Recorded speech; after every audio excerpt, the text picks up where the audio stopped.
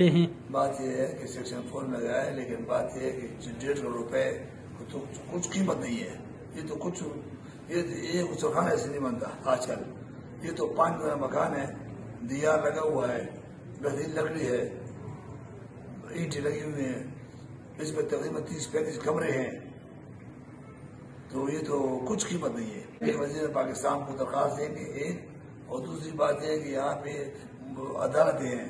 बेहतरीन अदालत है, और हाई कोर्ट है सुप्रीम कोर्ट है, वहाँ जाएँगे, हम जज साहब वहाँ से मिलेंगे भाई, ये क्या कर रहे हैं वो?